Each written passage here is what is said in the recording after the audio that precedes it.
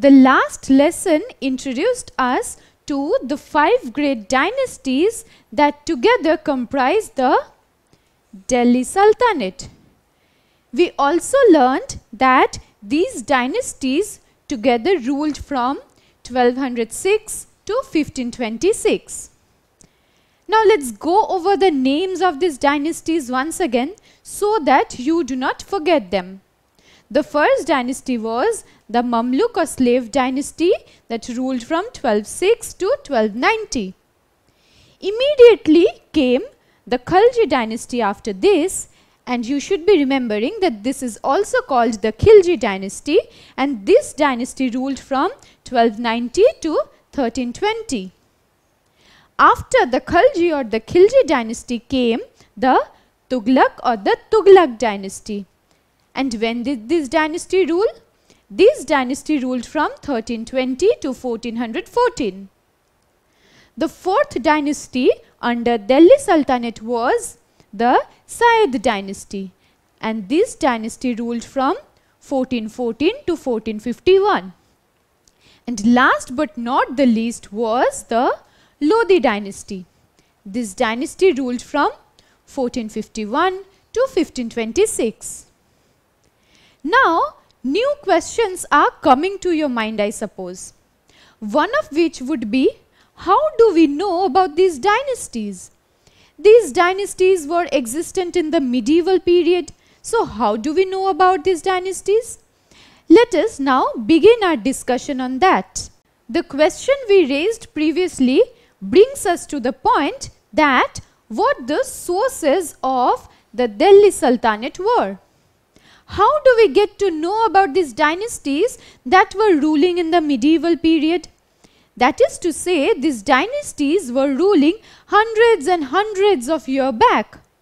How do we get to know about them? How do we know that this ruler ruled from this year to that year? How do we know how the systems of governance were? Now, when we come to discussing the Delhi Sultanate, we have to take into account the sources from which we get information on these dynasties. There were quite a few number of sources. The first among which would be inscriptions. So, inscriptions were the first source of information on the Delhi Sultanate. For any event in history, we rely on coins as a major source of information. Likewise, when we get to understanding the information, the details of the Delhi Sultanate, we also rely on coins. So, coins were also a major source of information on the Delhi Sultanate. What are the other sources? The third source that is one of the most important source that we have to take into account in this regard were monuments. So, monuments were very important in providing us information on these dynasties. And one such monument was the Qutub Minar. And from what else do we get information on the Delhi Sultanate? We also get information on the Delhi Sultanate from Tarikh or Tawarikh. Now what does Tarikh or Tawarikh mean? Tarikh or Tawarikh means written documents by learned men. So, scholars and other learned men wrote information on these dynasties and these informations are preserved together in the form of documents that are called Tarikh or Tawarikh and these documents have survived many generations and it is today that we get information on these dynasties under the Delhi Sultanate from these written documents. So what are the sources that we just talked about? The sources that we just talked about are inscriptions, coins, monuments and tarikh that is written documents. Now let us get into discussing each of these sources in greater detail. The discussion we just began must have left you wondering what inscriptions are. inscriptions are engravings on some surface that give us information on any event in history. So, inscriptions constitute a very integral source of information on any event that happened centuries and centuries ago. Likewise, inscriptions constitute a very important source of information on the Delhi Sultanate. Now, what were these inscriptions found on? Inscriptions or these engravings cannot take place on any and every surface. So, these inscriptions were found on copper plates. Copper plates were used to engrave or make these inscriptions. Likewise, inscriptions were also made on monuments. And one such monument that provides us lots of valuable information on the Delhi Sultanate is the Qutub Minar. What you see here are the walls of Qutub Minar and on these are the inscriptions that provide us with information. Inscriptions were also found on coins. These are coins on which inscriptions were made. Inscriptions were also found on weapons, seals, vessels among other tools. So, monuments, coins, copper plates and various kinds of tools were made by the kings and on this inscriptions were made and in turn these inscriptions provide us with valuable information from which we can reconstruct the history of that period. Now what do these inscriptions tell us? These inscriptions tell us about the land grants made by the kings and the chiefs. Along with that, we get to know about the systems of governance or how these sultans under the Delhi Sultanate controlled their territory or what kind of things did these sultans do to the administrative systems. So these are the things that is these are the information that we get to know from these inscriptions. We just discussed how important inscriptions have been in providing us information on the rulers of the Delhi Sultanate. It is from these inscriptions that we get to know which ruler ruled from which year to which year and which ruler succeeded that ruler. So, it is this chronological order of rulers as they came into power that we also get to know from the inscriptions. So, you must have understood by now how important inscriptions are in helping us reconstruct the history of any event that took place in the past.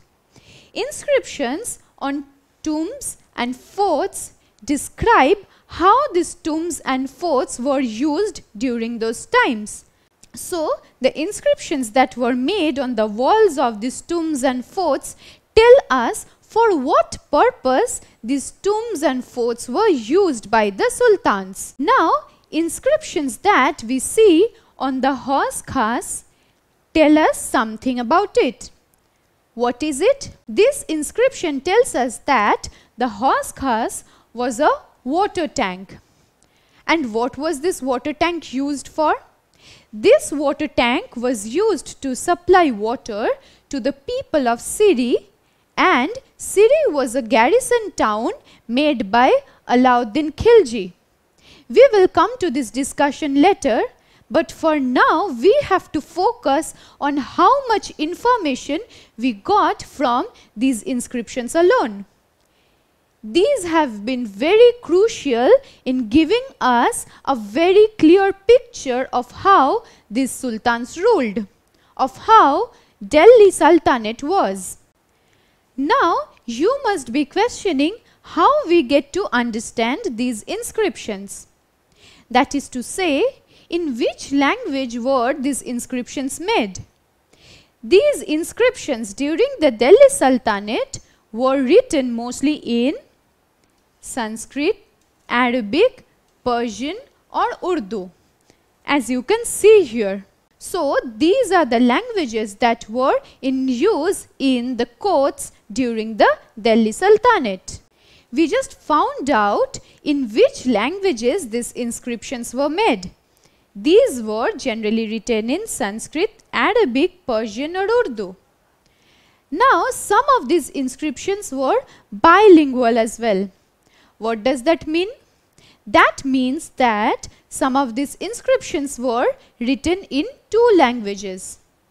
Along with Arabic, some inscriptions were written in regional languages in the likes of Gujarati or Bengali. Now doesn't this come as a surprise to you? Because Gujarati and Bengali are languages that you and I speak today and even during the Delhi Sultanate these languages were also in use in the courts of the sultans. So we found out the languages in which these inscriptions were made. Now let us discuss another important source that provides us with information on the Delhi Sultanate. What is it? Coins. Coins are a great source of information for reconstructing history. Reconstructing history means we are in the process of understanding what was happening in the past. And to understand the events of the past, we need to understand when and why some things happened. So, to reconstruct history and to get information on the Delhi Sultanate, we also rely on coins. Coins are a valuable source of information in this regard. Now what do these coins tell us? Coins bear the year of minting that is the year in which these coins were made. Along with that they have certain figures that were very prominent at that point in time. So when these coins tell us the year of minting, we know when these coins were made. That is, when these coins were made under the rule of a certain sultan. That gives us a fair idea of when a sultan was ruling. Along with that, certain important figures that are inscribed on the coins tell us a lot about that period in history. The third very important source of information on the Delhi Sultanate is monuments. Monuments give us lots of information on when such and such thing happened, under the rule of which sultan such and such thing happened, and why that event took place. It is for this reason that monuments are very important to us. They are a great source of history of the Delhi Sultanate. And one such monument is the Qutub Minar. The Qutub Minar is a huge monument that is located in Delhi and it is on the walls of the Qutub Minar that inscriptions are made. And these inscriptions in turn provide us with information on the Delhi Sultanate. Now, the inscriptions that are found on the walls of the Qutub Minar tell us under the rule of which sultan its construction was started.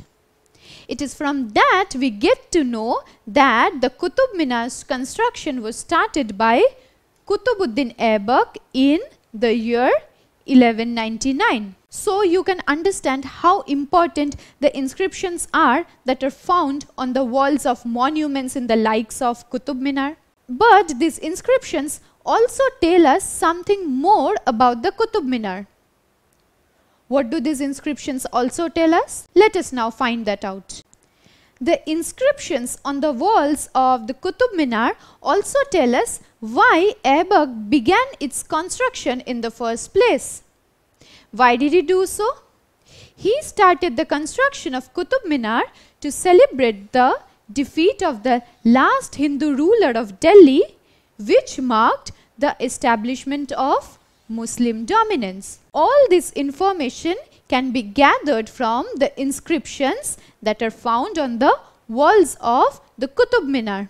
So, the founder of the slave or the Mamluk dynasty that was Kutubuddin Aibak started the construction of the Qutub Minar which signified the defeat of the last Hindu ruler of Delhi with which he now came to power on Delhi. All these informations can be gathered from the Qutub Minar itself. So understand how important a source of history and information these monuments are. But Aibak was not able to finish the construction of this huge monument. Why is it so?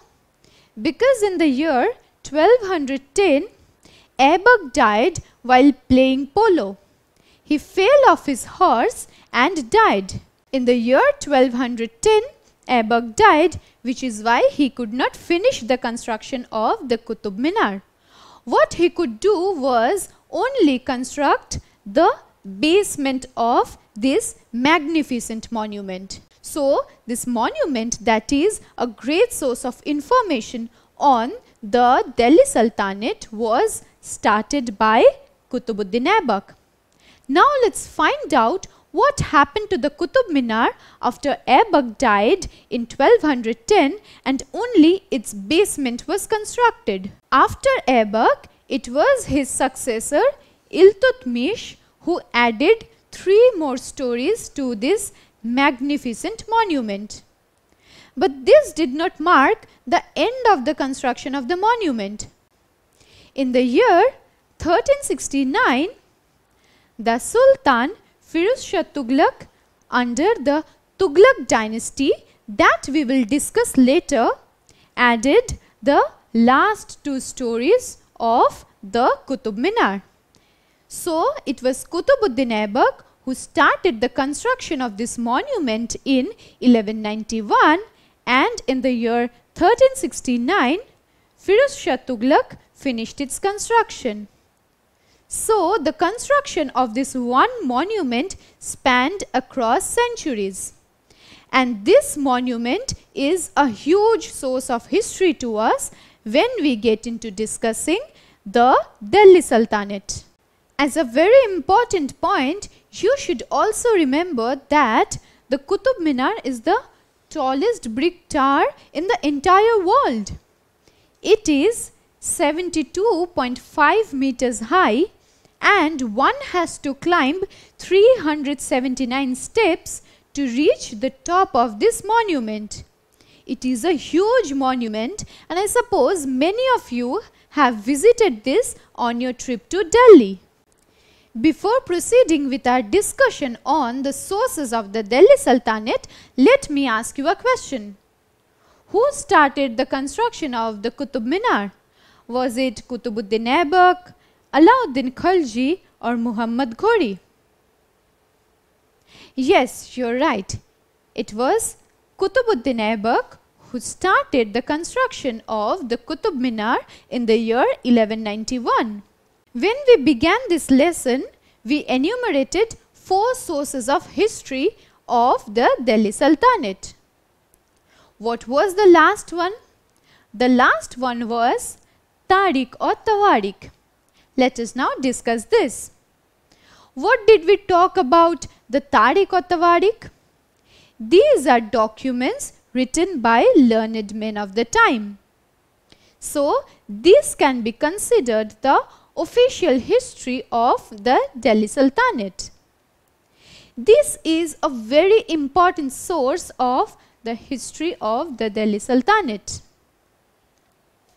Since these Tarikh or Tawarikh were written in the Persian language, historians have understood that Persian was the official language of the courts under the Delhi Sultanate. Now, who were these learned men who wrote the Tarikh or Tawarikh? These documents were written by learned men who lived in cities. Cities as in mainly the city of Delhi. What did these people do? These people held many important positions in the administration. So, these people held many important administrative posts under the Delhi Sultanate and it is these men who wrote the official history of the Delhi Sultanate in Persian. We found out the languages in which the inscriptions were written. We also found out the language in which the official history of the Delhi Sultanate was written. It was in the Persian language. But on what surface did these learned men write the Tarikh or Tawarikh? They cannot write on air. So, in order to write the history of a time, one needs to have a manuscript.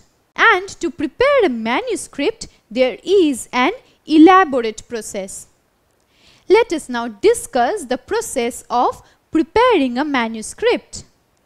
The first thing that one has to do is to prepare the paper, as in prepare the paper on which the history would be written. The next step is to write the text. This is something that the learned men did. They wrote the official history on these manuscripts. Now what happened after these learned men wrote the history or wrote the text? After this, they had to melt gold to highlight important passages and sentences. So, the first three steps were to prepare the paper on which the text would be written. Then the next step was to write the text itself. Then the work was to melt gold to highlight important passages. Even in today's world, you and I still do this. We use a highlighter pen to highlight important passages in our textbooks. Similarly, these people when they were writing the official history or any other important document, they used to melt gold to highlight important passages. And finally, at the end of this process, the text had to be tightly bound together to give it the shape of a manuscript. So, it is in this process that manuscript was prepared. And these manuscripts have survived to tell us the history of the Delhi Sultanate or any other history for that matter. We just discussed at great length how a manuscript is prepared. And these manuscripts serve as a great source of information on the Delhi Sultanate. And these manuscripts were called the Tarikh or Tawarikh as we previously described.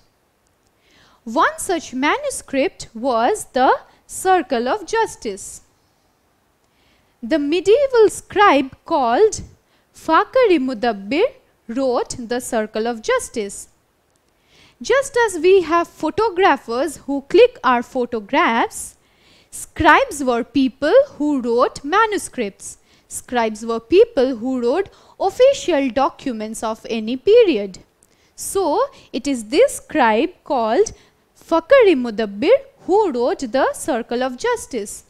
Now, what information on the Delhi Sultanate do we get from this circle of justice? This circle of justice tells us how the survival of kings, soldiers and peasants were interconnected. Now, what does this mean? That the survival of kings, soldiers, peasants all were interconnected. That for existence one depended on the other. Let us now find that out. In the medieval period, India was ruled by kings. The kings needed to defend and protect their territories. For this work, the king required soldiers. Now, the soldiers were warriors who also needed money for their homes. So, the kings needed to pay the soldiers. From where will the king get the money? The king could get the money from peasants. But the peasants could only grow crops and provide revenue to the king. When can the peasants grow crops? It is only when the king promotes honesty and justice in the land that the peasants are happy and prosperous and they can grow crops. So this way the survival of everyone was interconnected. So we just talked about the circle of justice that tells us how the survival of kings, soldiers, peasants was interconnected. One had to rely on the other for their sustenance and for their well-being. But from where do we get this information? We get this information from the circle of justice that was written by the medieval scribe Fakhari Mudabbir. So now you can understand how important manuscripts were, how important inscriptions were, how much information they provide us so that we can reconstruct and understand in detail the history of the Delhi Sultanate. It is for these reasons that we traced the various sources that provide us information on the Delhi Sultanate. In the subsequent lesson, we will now be talking about the first ruler of the Mamluk dynasty that was Kutubuddin Aibak. Don't forget to subscribe to our channel and hit the bell icon. You can also register for free at deltastep.com or download the DeltaStep app to learn one-to-one -one with our amazing teachers or to get access to all our 5000 plus amazing videos as per your school syllabus. Master each topic with our adaptive practice technology. Get million plus questions with step-by-step -step solutions and unlimited mock tests. Get all your doubts resolved instantly. Learn via games and win amazing prizes like PlayStations and iPads. So at DeltaStep, learning is not just fun and easy, it's rewarding too. So register for free now.